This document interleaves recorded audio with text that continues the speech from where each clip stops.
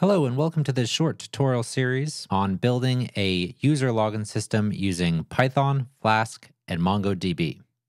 So, before we get started, you should make sure that you have four things installed on your system. You need Python 3, pip, virtual env, and MongoDB.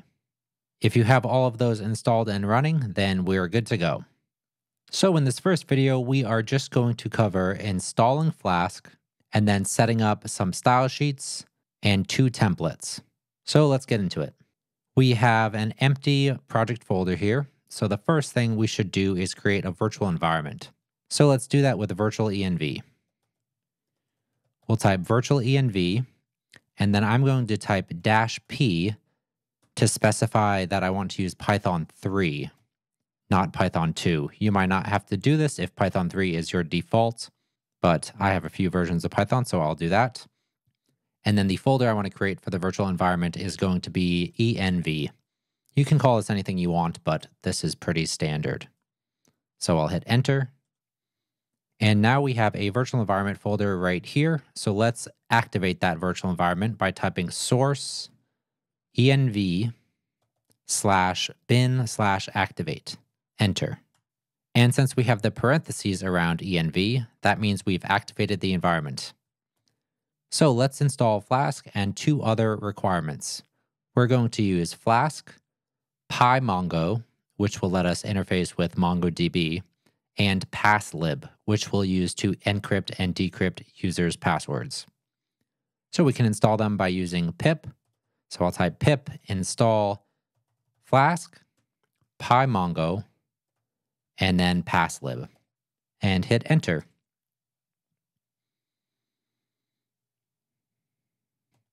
Now that we have those installed, let's create our very first file. Create a new file called app.py. And let's just create a basic Flask app here. So we'll say from Flask, import Flask. And then let's create an app instance. So we'll say app equals Flask underscore underscore name underscore underscore. And then let's create a route. So we'll say at app dot route, and we'll just do a forward slash for the root URL of the app. And then we'll call this function home. And we'll just return some text. So in order to run this app, let's create a script file which we can easily execute each time we want to start Flask. So create a new file here and just call it run. Don't give it an extension, just the word run. And here you want to type flask underscore app equals the name of our file. So app.py flask environment equals development, and then the commands flask run. So this is a new script file, and we can run script files by typing dot slash the name of the file, except that we haven't made this script executable yet. So let's do that by typing sudo chmod plus x to make it executable, and then the name of the file. Enter your password. And then let's try to execute that again. Dot slash run. And there we go. We are running Flask. Let's check it out in the browser. There we go. There's our Flask app running in the browser. So let's close our terminal here for now. You can do that by typing control tilde if you're in Visual Studio Code. And we'll close this run file so the next thing we should do is set up two templates, one for our home page and one for our dashboard page. So we can create a new folder here called templates. And in this, we'll create two files, home.html and dashboard.html. And let's actually create one more file, which will be our base template and you'll see why we want to do that in a moment. So let's create a new file called base.html, and let's use this file to create our HTML structure.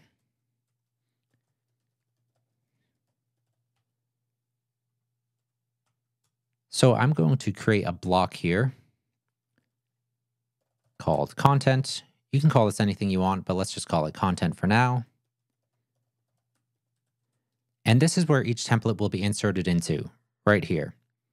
So each template will automatically inherit all of this stuff, and just the homepage template will be inserted here, or the dashboard template will be inserted here.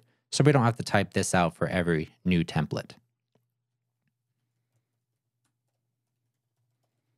So let's make the homepage and dashboard template extend this template. So we'll go into home. We'll say that this template extends base.html, and then we'll create that same block tag, block content. And let's just put a heading in here called home. And we'll do the same thing for the dashboard. We'll call this one dashboard. All right, let's check this out in the browser. And nothing has changed because we haven't told the route to do anything except render the word home. So let's change that in app.py. So instead of rendering text, let's make it render a template. So we can use this function, render template, and we'll choose a template. We'll say the home.html template. In order to use this function, we need to import it from Flask. So let's do that up here. So from Flask, we want to import Flask and then render template. Later on, we'll import several other things, but for now, this is all we need. So let's add one more route here for the dashboard, and then we can test it. We'll make this dashboard, call the function dashboard, and make it render the dashboard.html file. Great, let's save this and check it out in the browser. Perfect, here's our home page, and we'll go to slash dashboard. And there we go, the dashboard template. One quick note here. On the route for the dashboard, I've added an extra slash at the end. If I don't do that, we can get to the dashboard with the slash, which is not an actual route, and we can get to dashboard. So there are two potential routes a user could end up on. If we add the trailing slash, if the user tries to go to dashboard with no slash, it will automatically redirect them. So there's only ever one route that users can try to access. So I like to add trailing slashes to all of my routes. So let's add some style sheets and script files to the base template. I've already created a style sheet for you to use so we can focus on the Python side of things. And that is at this GitHub repository, which is in the video description. But there are three files here styles.css, normalize.css, which will make things look more uniform across all browsers, and then jQuery, which we'll use for our form submissions. So I've already downloaded these, so I will bring them into the project. The first thing I want to do actually is create a new folder called static for all of our static assets. And inside of this folder, let's create two more folders, one for JavaScript, so JS, and one for CSS. So I'll put these two CSS files into the CSS directory and jQuery into the JS directory. All right, now let's add these to the template. I'll link to the style sheets here. So static slash CSS slash normalize. And then one for styles.css. And we'll do the same for the script file here. Static JS jQuery.js. We're actually going to have another JavaScript file. So let's just put one in here for that now called scripts.js. And let's create a blank file here in the JS folder for that. This is where we'll write our form submission code later on. All right, so let's save that and check it out in the browser. Cool. Our style sheet is in here and that works for both routes. So that's it for part one.